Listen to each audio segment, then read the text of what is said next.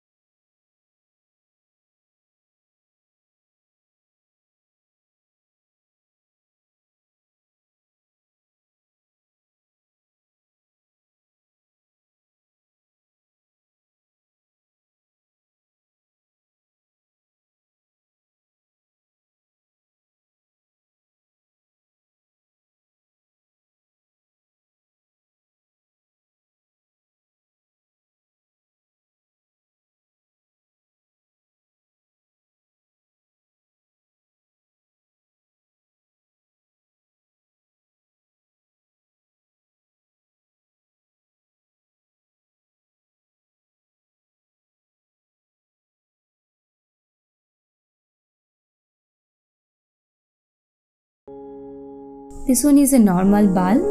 I just painted it with some acrylic colors. And I got this idea from Pinterest. Okay, all done. Now let's see the final result.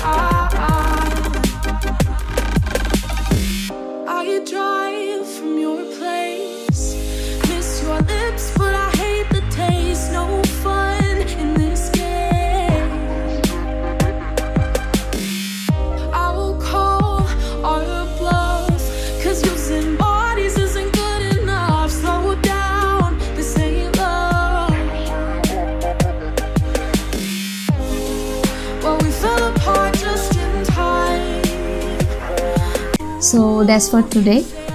I really hope that you guys enjoy this video and don't forget to give this a thumbs up if you did and please leave a comment down below about what you think about this DIY. So thank you so much again for watching this video and I will see you all in the next one. Until then, please stay safe and stay healthy. Bye.